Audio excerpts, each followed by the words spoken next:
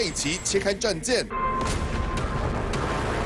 尾巴敲下战机，怪兽之王再度降临大荧幕。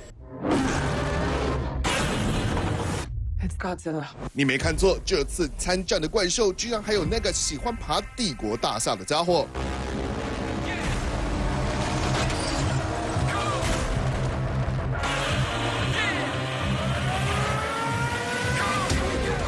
历史更为悠久，堪称巨大怪兽始祖的金刚，这次也加入怪兽大战。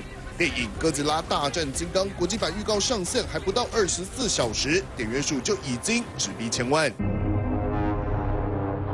We need Kong.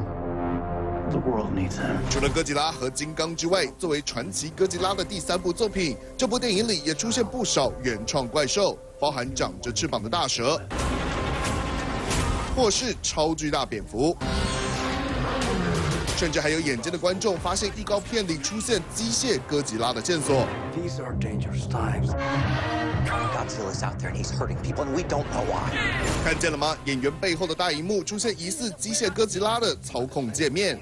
由于哥吉拉的版权方东宝只卖给华纳和传奇影业三集的哥吉拉版权，所以这次传奇哥吉拉是最后一次登场。The myths are real. There was a war. One static，华纳加入新怪兽，也有可能是为了延续怪兽宇宙，替金刚找些新对手。但要是错过这次怪兽大战，这种梦幻对决，恐怕短时间内是看不到了。三立新闻中午报道。